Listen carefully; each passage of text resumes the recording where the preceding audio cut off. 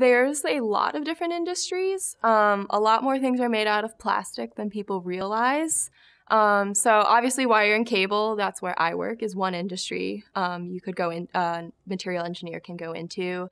The auto industry is actually another very large industry for material engineers. Um, your car doors, a lot of your car parts are actually made of um, very stiff, rigid plastics because they're lightweight. Uh, you also the adhesives are actually polymers are plastics, and those that kind of stick your car door, the linings together, are also an industry that we need material engineers for. Um, also, toys is another very big one for kids. Toys are made out of plastic, and obviously, keeping them safe is very important. If a baby puts a toy in its mouth, you don't want it to get sick. So, studying what materials can be put in a mouth and not harm someone is very important. Um, obviously, furniture too. There's a lot of plastic that goes into the furniture. Um, that's also a very large industry for plastic engineers.